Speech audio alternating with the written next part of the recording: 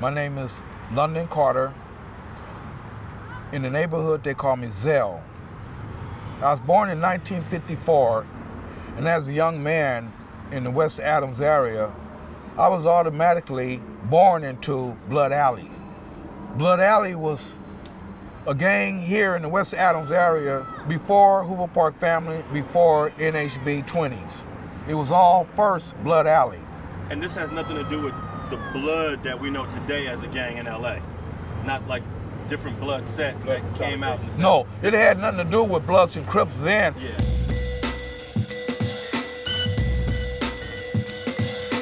I, I, I must have been around 14 years old at Foshay Junior High School. Uh, I came up with a lot of uh, guys my age uh, from Vermont. Some came from 24th Street School, and we were just like automatically in our neighborhood. We was automatically uh, Baby Blood Alley. That's what uh, what gang we had in the West Adams area. The cast that was my age in, in Baby Blood Alley was like uh, Rudy and Dwayne. Uh, those are brothers I can remember. Michael Darby. Uh, these cats grew up on uh, Adams and, uh, and Budlong.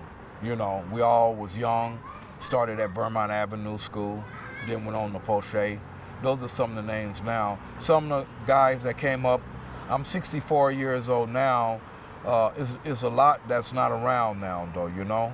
Did you guys have any conflict with different neighborhoods when you were at Vermont or at at um the, at the junior high? Well, you know, when we was Baby Blood Alley, um, the only uh, you may have a conflict with some businessmen or some outlaws or some Slauson at the Arlington skating ring or the Hollywood skating ring, but we fought with these. We fought with our fists. Next week we'll be drinking Ripple with them, you know, shooting dice or whatever. It, it didn't carry on like it's carrying on now. Nobody died.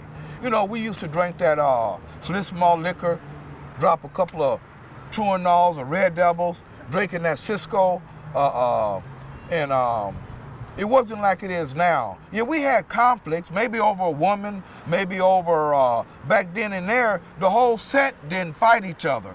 You know how they used to do it back there? Say like somebody from our set that called himself a leader from Blood Alley.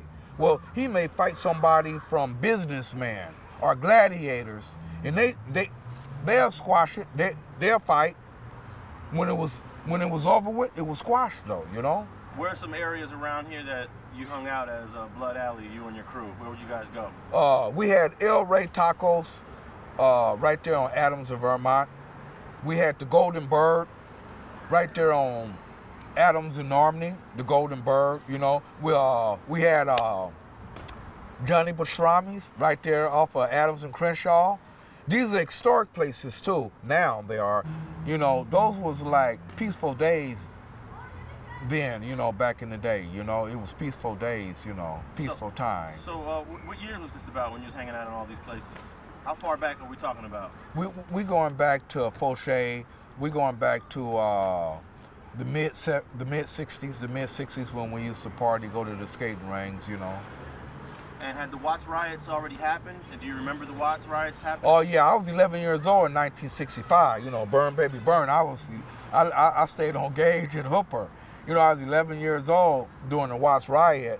I happened to be, I was on the east side then. My mother had moved, we was on the east side during the Watts riot. Uh, we eventually moved back over to the west side though, you know. Now when you was young, was there another neighborhood around here called the Vultures? Do you remember anything? Have you heard of the no, Vultures? No, I, I, don't remember the Vultures. I remember, uh, like I said, the, the gangs that I remember, I could tell you where they were at uh, at Manual, you had the Gladiators and John Muir. They were like the baby gladiators. They called themselves Vikings. Jeff had the businessmen and outlaws. You know, uh, the rebel rousers is over at Dorsey. Fremont was the Slauson with Bunchy Carter in them, though. You know, and uh, you know when uh, Geronimo Pratt came out of came back from Vietnam, all those gangs I just mentioned, the rebel rousers, the businessmen, the outlaws, the gladiators, all them turned Black Panthers. When he came back, all those gangs was conscious though, you know? And, and why I'm there, why I'm there on Geronimo Pratt and why I'm on the Vietnam, I was in the Vietnam uh, uh, era too. You know, where blood came from, all the brothers used to call themselves in Vietnam blood. They've been using blood for a long time though. They was using blood for a long time. You could catch the Vietnam brothers, two brothers. You could have a white man and, and, and a black man down in the trenches, and they were calling each other blood. Because they, they only depended on each, they had each other. Now, do you know how the, the name Blood Alley came about? Like, who named it, and, and did it represent an actual area in the neighborhood? Well, I can't tell you. Um, I'm only 64 years old. I was born in 1954. Blood Alley is way out before I came. Um, I, I, I can't tell you the birth date of Blood Alley. Like I said, I was born into it though, in the West Adams area though, you know. And it was basically the West Adams area. We had the Boulevard Show in Washington and Vermont. And we have, uh, we I could go far as down uh, uh, Western. Uh, uh, uh, what's the name of that that market? Don Ray. Don Ray's? Don Ray's. Yeah, Don Ray's, 24th Street School. The, the 10 freeway was built in 1964. But to be truthful with you, I can't um, tell you when uh, it, the birth of the uh, of Blood Alley. I just knew this West Adams, as being a young man, always been Blood Alley to me. When I entered uh, uh, Manual Arts High School, uh, we used to hang up here at Hoover Park where we are now having this interview, and we had a, a, a karate class, and that was the birth of uh, Hoover Park family through the karate class in 1969. So in 1969, at uh, High School, you had uh, that shared this school. You had Blood Alley. Excuse me, not Blood Alley. You have Hoover Park Family, Fruittown Browns, and the Gladiators from off of the, uh, those uh, projects right there on Jefferson and uh, Vermont. We're all at Manual Arts High School. So then, how did how did Hoover Park Family start? Like, uh, you you must be first generation Hoover Park family. Yeah, I'm first generation Hoover Park family. You know, uh, and, and Hoover Park family, most most of the most of the older Hoover Park family and a lot of older guys from NHBs, all of us used to be in one gang, Blood Alley, back in the day. Skipping them, OG, OG skip, because yeah, there's two skips, not, skip. yeah, OG skip. You got a skip from Second Call, right. which was from this neighborhood too. But OG skip in me was Blood Alley. A lot of a lot of older twin, a lot of older guys from 20s and a lot of older guys from Hoover Park family. Before we was 20s and before we was Hoover Park family, we were all Blood Alley. When a young man got killed at the Hollywood Palladium over his leather jacket, some Crips jumped on him, took his leather jacket. He died. You know, his lawyer, his father was a lawyer, I believe. And uh, we, we, we heard about it. What we wanted to do is protect our, our neighborhood, our park. We didn't want no Crips coming on this side, you know. Uh, we were like, in the karate class was like a family, like brothers and sisters though, you know. And we came up with the name family though, you know. And uh, we started recruiting. We asked most of the, the brothers, the, the brothers that came into uh, the karate class that, that wanted to uh, that wanted to be with Hoover Park family. You know, I, I took this part. Malcolm X had said this in uh, in, in uh, Malcolm X movie when the young man ran in the cafe and he asked Malcolm X could he join.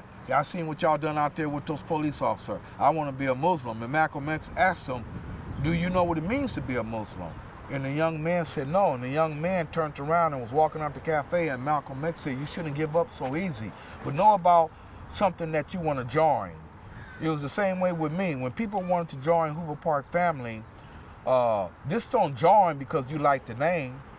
Do you know what it means to be in Hoover Park family? We're very strict on brothers uh, learning self-defense, though. Who was teaching karate? Was, his name was Don. His name was Don, and he wasn't charging. It was it was free to the community. Whoever lived in the community could join the class. Whether you was in, a, whether you was from a gang or not, uh, you could join the class, and he didn't charge. He kind of figured what we was doing and whatever. But when you came in his class, you was in his class. as a student, not as a gang member, as a student. You didn't take none of that stuff into his class, though. So what was the rest of your high school experience like at at uh, Manual Arts? Did you stay there for, for the whole three years? Yeah, for the whole three years. Um, we were there. Uh, a young man uh, from Hoover Park family, Tony, uh, he got killed on campus there at the school. Um, I was I was gone by then. Was Tony the first one to die from Hoover Park family? yes, sir. He was the And first what was one. the specifics around that? Well, um, you know, he was killed by 30s, though. You know, they were on campus that day, um, and I, like I said, I wasn't there. Uh, Tony didn't. Tony, he didn't have no gun or nothing like that. Tony was like a brown belt, though. You know, and I don't know what happened though, but he got shot by 30. After he got shot by 30, I hear that Hoover Park family, they farmed, they went up to Denker Park. And when they went up to Denker Park, they were looking for any Harlem that they could find. They went in the gym where they were at, where people was playing basketball. Harlem and 20s, far as I, I can remember, never got along. That that that war, the hatred right there, is older than the Vietnam War. I graduated in 72. 1974, I volunteered to go in the U.S. Army uh, because I wanted to better my life than this Hoover Park. I wanted to see the world, you know, and I figured uh, the, the best way I could go, you know, OJ and all them were over at USC, Charles White. Uh, my mother didn't have enough money to send me to to uh, to USC, UCLA. You know, Trade Tech was free at the time, LA City College, but I entered in the Army. I think that's one of the best decisions that I ever made, is to go and serve my country. Uh, instead of tearing up my community, you know. So you went in 74? I went in So that was the tail end of the Vietnam War? Yeah, they was bringing them back then. Now, I didn't go to Nam. I got stationed in Germany. But now that's when things started really heating up when I when I went into the army. Yeah, things started to change. Yeah, yeah, thing was changing because when I came back, it was a whole new, different era though. You know, when I came back. When when I came back, it was just rolling twenties. Neighborhood Neighborhood, rolling twenties. That's when I came back. That's that that was running things now. Thanks for watching StreetGangs.com. Please like and share the video you just watched and leave a comment below to tell us what you think. You can also watch two of our previous episodes to the right. Please visit the link to our Patreon page and support our campaign. And don't forget to subscribe.